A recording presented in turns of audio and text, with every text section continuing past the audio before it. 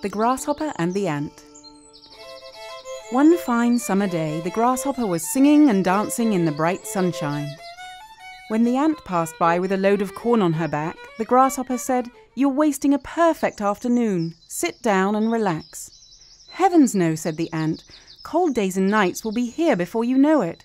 You should be working like me and filling your larder. Fiddle-dee-dee, said the grasshopper. I have plenty to eat and the weather is beautiful. On a snowy night a few months later, the ant heard a knock on the door.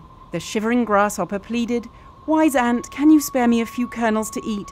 I've had nothing all day and I'm feeling faint. The ant shook her head. It's your own fault. Maybe next year you'll take my advice.